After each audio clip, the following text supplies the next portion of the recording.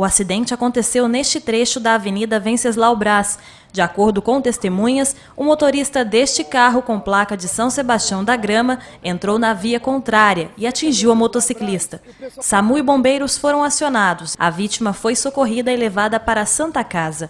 O motorista que não quis se identificar disse que se confundiu ao ver esta placa. Testemunhas disseram que a má sinalização tem sido a causa de vários acidentes por ali.